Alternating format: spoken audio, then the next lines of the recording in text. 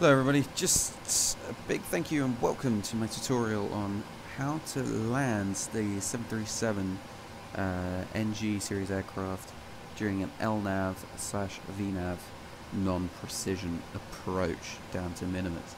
Um, so I'm doing this uh, voice over after I conducted the approach, so this is going to be a, an after voiceover, after the gameplay voiceover uh, for this. So I might be, I'm just going to talk you through how to conduct this approach safely.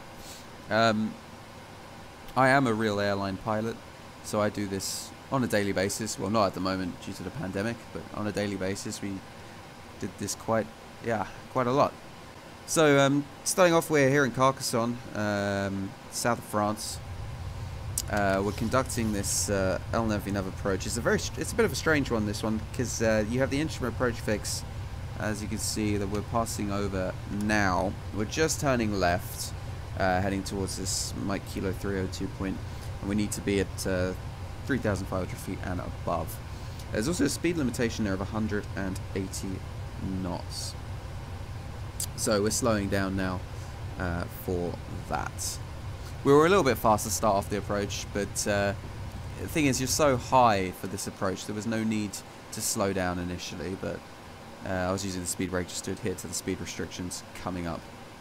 So as you can see, we've uh, selected that. Uh, I've gone into level change because I thought it was a an easier way of just getting the speed back.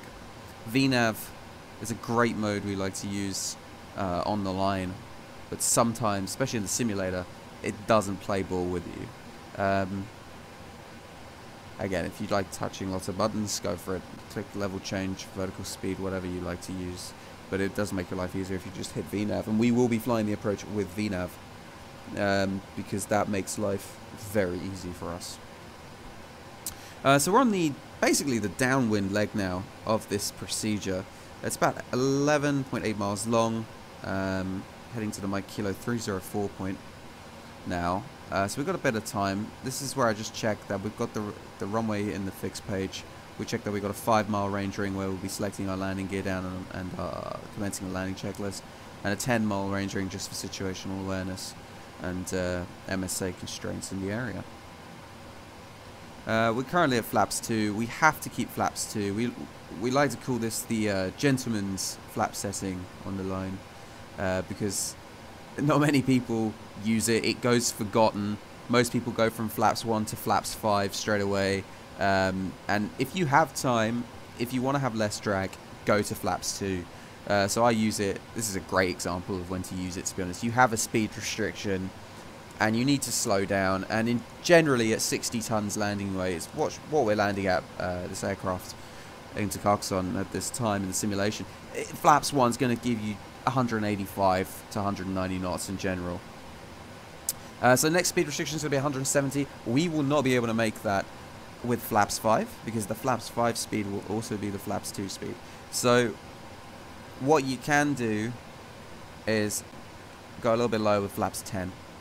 Again, a not very often used flap setting. A great setting to slow down with speed brakes if you need to slow down as long as you are below 210 knots because you don't want to uh, you know damage the uh, flap settings the flaps uh, do any damage to the aircraft itself uh, so as you can see, we're going to turn base shortly after this Mike Kilo 304 point that you can see on the navigation display. Um, you're going to follow all this as well with the chart up on the left-hand side of the screen. It'll be popping up uh, during this video. Um, I'm just double checking the VREF at the moment. So 59.1 is what we're going to be landing with. Uh, just double check that. The speed hasn't changed. 134 in VREF. You one, uh, 139 knots which is pretty... It's a decent speed. The 737 is actually quite badly designed, that it has quite a high uh, VREF speed on the approach. It's as high as a 777, which is not great. But, uh, you know... Oh, yeah, I forgot to put those lights on. We should have done that earlier, coming down through 10,000 feet. Just make sure the cabin is secure.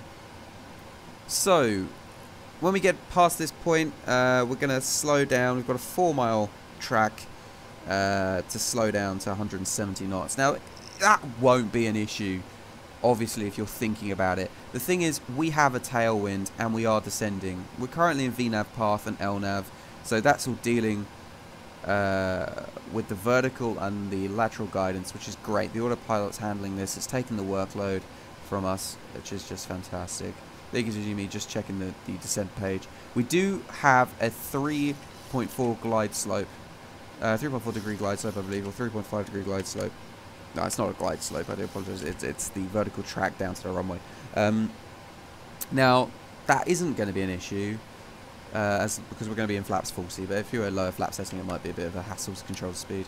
So as you can see, we're slowing down now. Uh, you put down flaps 10, and you can easily take the bug back to 170 knots. It's 170 maximum, so I'm just bugging the flap 10 mark. Uh, getting the speed brake out now. As I said, we had that little bit of a tailwind there. So as you can see, the speed was not decreasing. Once the flaps are out, once the speed brake is out, with VNAV trying to keep that vertical path, there's no basic mode like level change or, or vertical speed to help you slow down. So you want to get the drag out to get that speed under control. Also, when you have a 90 degree turn like the one we're just about to see as we're about to turn onto the final approach track from base, um, it's it's you know it's hard if you're going quick. You know, 180 knots is what you want maximum, but there is a reason they've given you the speed restriction. So the best is to adhere to it. So now as we're turning right onto the final approach track, what you're going to do is going to select the uh, runway heading, which is what we've just done, 276 degrees. The chart I might put up might not be up to date, so you have to excuse this. Um, 276 degrees is the heading, and then what we're looking for is we're descending initially to a platform altitude of 3,500 feet, which is fine. Two miles prior to the Foxtrot Mike Kilo 28 point, which is the, the FAF, the final approach fix, we will then select, in my company anyway, we like to select uh, basically the minimas or the minimas rounded up to the nearest 100 feet uh, on the altitude selector window on the autopilot to fly this. It's as a safety buffer basically. If you forget to reselect the... Uh, so there we go, we're selecting now, we're two miles away, selecting the uh, minimum altitude which is 680 feet, so we'll round that up to 700. Um, 700 feet selected there. It, it's a safety uh, option. Uh, you know, so it's if you if if you aren't visual and you completely forget, if your head's not in the game, the airplane will level off at that altitude, and you're not gonna, you know, you're not gonna bust the minimas. That's what it's for. So as you can see here, we're looking on the uh, vertical situation profile, and what you really want to look for here is blunder error on this. Uh, so this will tell you if the runway is on the green ground. You don't want it below that green uh, ground uh, detail on that display because if it's below, that means you're going to crash into the ground and your minimas are all wrong and the QNH setting is all wrong. Something is wrong and you, are probably going to kill yourself uh, and everyone else with you, which is not something you want to do. So we're flying down this approach now. Basically, you want to check altitudes versus distances. The next range, I believe, is 7 nautical miles on that display, on top right of the navigation display. So it's 7 miles, uh, it's not actually on there. So 6 miles, we're looking for 2,700 feet. 6 miles, 2,700. Um, so 6.8, yeah, 2,700. It's looking good so far. The VNAV's all within the profile. Um, there you go. Terrain is noted. The terrain is selected on my display, and there's uh, mountains to the left and the right, but nothing it should affect. 2,700 feet there at 6 miles. Perfect. So 5 mile ring is coming up. So the 5 miles is our, uh, we put the gear down. It's our IFR gate. So we're going to put the landing gear down and start the landing checklist now. So the gear goes down, flaps to the 15 mark. Uh, it's reducing the speed, very important, don't forget that, especially on such a quick approach. Uh, start switches are to continuous. Check the recoil. On the speed brake. The auto brake is at the maximum setting, which is great. And uh, put the landing lights on as well. We're going to go straight to flaps 25 initially and then flaps 40. The speed's under control, so we'll go straight to flaps 40. Matching that speed, 139 knots on the V-Fly. Landing lights are on. We're presuming we're clear to land. Looking good. We're at 4 miles now, 1,950 feet. The altitude is checking there, which is nice. So the flaps are 40-40 with a green light, and the landing lights are on. Uh, that is the landing checklist complete. On the pilot flying side, you have progress page 4, as you can see, just checking the RNP values. And on the pilot monitoring side, you'll have the legs page, which is what we have.